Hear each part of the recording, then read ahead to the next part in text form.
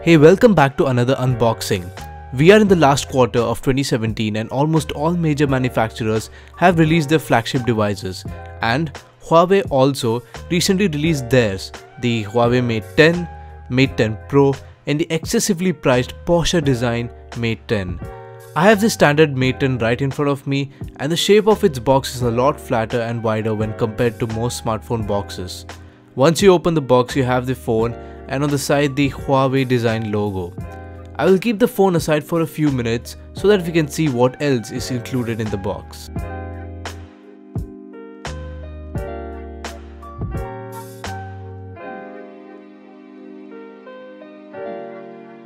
You get a fast charge adapter which the company refers to as the Huawei Supercharge and they claim that a 20 minute charge is sufficient to run the phone for a whole day. It also comes with a Type-C cable and a pair of earphones. As it is with most Chinese phones, a simple transparent case is included which is pretty neat since you need not spend on another case for at least some time. Finally, the last two items remaining in the box are the quick start guide and the SIM removal pin. We shall look around the phone before booting it up. At the front, there's a fingerprint sensor directly under the screen. At the bottom, there's a speaker grill, a USB Type-C port and a microphone. At the top, there's a headphone jack which is not included in the Mate 10 Pro, an IR blaster and another microphone. On the right hand side, there's a volume key and the power button which is placed a bit too close for my liking and on the left there is a SIM slot for either 2 nano SIMs or a single SIM and a micro SD card of up to 256GB. The phone I have is the mocha brown color which looks great. You can also get it in black but unfortunately you can't get the Mate 10 Pro's midnight blue version which I really liked. The Huawei Mate 10 has glass covering the back and front with the back glass curving at the sides just like a Samsung.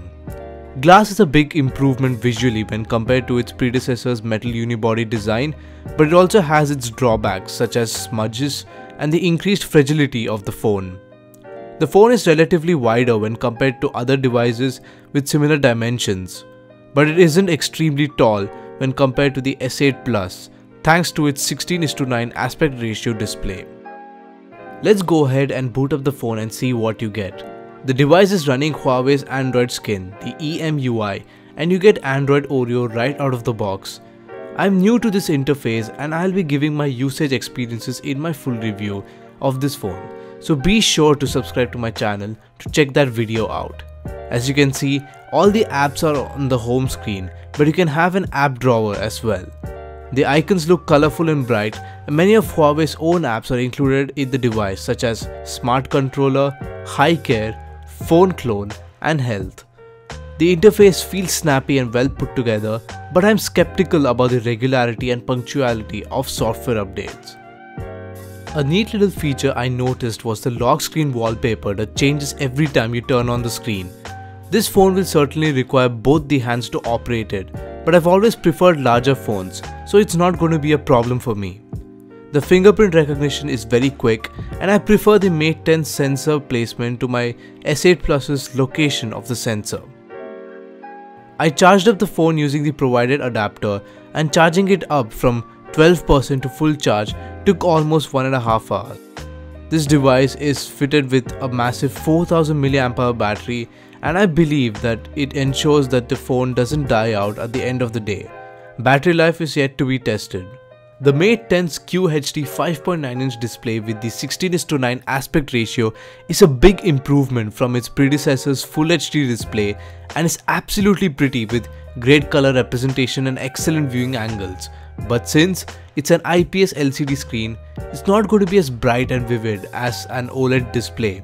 While playing a video, I realized that the sound from the speakers are adequate, but it does tend to get a bit shrill at the highest volume. I feel the phone could have had an option for capacitive buttons on both the sides of the fingerprint sensor as it could have saved space on the screen that is normally taken by the navigation bar. The real star of the show has to be the all-new Kirin 970 processor which is Huawei's first mobile AI computing platform featuring a dedicated neural processing unit also known as NPU which the company claims improvement in energy efficiency, processing speeds, and ensures real-time on-device AI. The NPU is hardware dedicated to speed up the process of machine learning.